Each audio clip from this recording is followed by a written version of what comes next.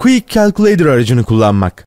AutoCAD programında yer alan diğer bir faydalı araçsa Quick Calculator yani hızlı hesap makinesi aracıdır. Bu aracı güzel kılan etkin bir işlemin ortasında kullanılabilir olmasıdır.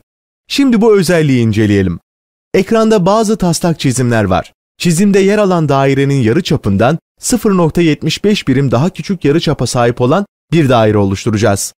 Giriş sekmesinde Draw grubunda yer alan Circle düğmesini tıklayın. Yeni çizilecek dairenin merkezini var olan dairenin merkeziyle aynı yapacağız. Var olan dairenin üzerine geldiğinizde Center yazısı çıkacaktır. Bu durumdayken tıklayın. Yeni çizilecek dairenin yarı çapını belirlemek için Quick Calculator yani hızlı hesap makinesi aracını kullanacağız. Aslında var olan dairenin yarı çapından 0.75 değerini çıkararak bunu siz de yapabilirsiniz.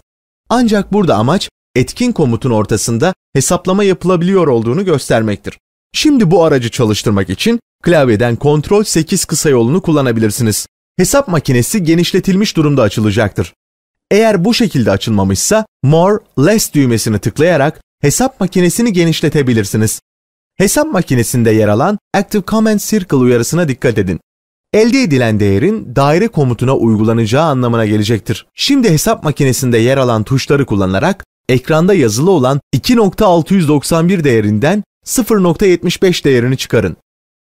İşlem tamamlandıktan sonra bulunan değeri göreceksiniz. Apply düğmesini tıklayın. Bulunan değer çalışma alanının alt tarafında yer alan komut satırında da görüntülenmektedir. Herhangi bir yerdeyken klavyeden Enter tuşuna basın. Böylece belirttiğiniz yarıçapta olan yeni daire otomatik olarak çizilecektir. Şimdi de örneğin oluşturduğunuz dairenin yarıçapının yarısı ölçülerine sahip yeni bir daire oluşturmak istediğinizi varsayalım. Klavyeden boşluk tuşuna basarak Circle yani daire komutunu yeniden çalıştırın. Merkez noktası aynı olan bir daire çizin. Klavyeden Ctrl 8 kısa yoluna basın. Quick Calculator aracı açılacaktır. Araç panelinin üst bölümünde yer alan bölümde görüldüğü gibi AutoCAD programı önceki hesaplamalarımızın geçmişini tutar. Bu geçmiş tutma işinin en güzel yanı bu değerleri yeniden kullanabilmenizdir. Burada son yaptığınız işlemin sonucu görüntülenmektedir. Üst bölümde görüntülenen sonuca çift tıklayın. Böylece bu sonuç ifade alanına getirilecektir. Bu sonucun bir önceki dairenin yarıçapı olduğunu hatırlayın. Şimdi gereken düğmeleri kullanarak bu değeri ikiye bölün. Hesaplama işlemini yaparken bu araç panelinde görünen numaraları kullanabileceğiniz gibi klavyenizde yer alan tuşları da kullanabilirsiniz. İşlemin sonucunu bulduktan sonra Apply düğmesini tıklayın. Şimdi de bulunan yarıçapta bir daire çizmek için klavyeden Enter tuşuna basın. İlk oluşturulan dairenin yarıçapının yarısı boyutunda yeni bir daire oluşturulduğunu göreceksiniz. Şimdi de çalışmaya ilk başladığınız dairenin iki katı ölçülerinde yeni bir daire çizmek istediğinizi varsayalım. Boşluk tuşuyla komutu yeniden çalıştırın. Merkez noktası diğerleriyle aynı olan bir daire çizin. Ardından yarıçapı belirlemek için klavyeden Ctrl 8 kısa yoluna basın. Açılan Quick Calculator araç panelinde en üst bölümde daha önceki iki uygulamanın yer aldığını göreceksiniz. Bu geçmiş bölümünün bir tarafında işlemler, diğer tarafında ise sonuçlar yer almaktadır. Bir önceki uygulamada sonuca çift tıkladığınız gibi bu uygulama içinse ilk işlemi çift tıklayın. İlk işlemde yer alan değerlerin ifade alanına getirildiğini göreceksiniz. Bu işlemde yer alan eksi 75 değerini seçip silin. Kalan değeri 2 ile çarpın.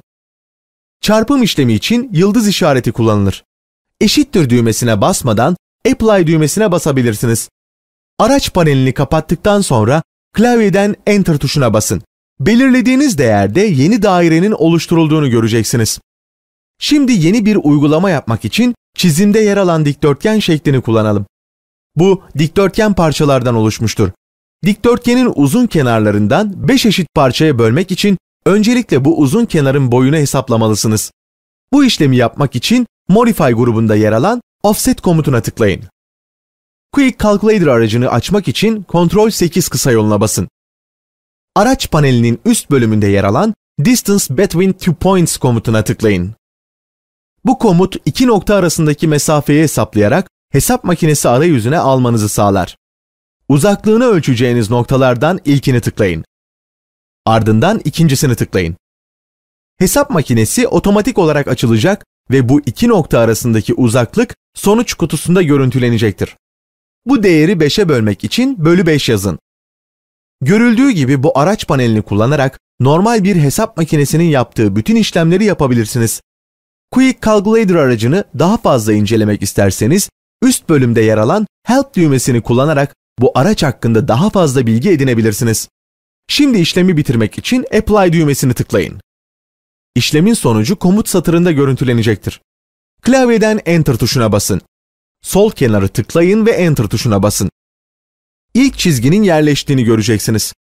Diğer çizgileri yerleştirmek içinse işlemleri tekrarlayın.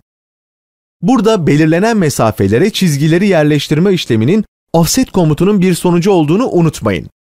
Quick Calculator yani hızlı hesap makinesi aracı masanızın üzerinde bulundurduğunuz bir hesap makinesinin yerine tamamen geçmezken AutoCAD programını kullanırken hesaplamaları yapmakta çok faydalı olacaktır.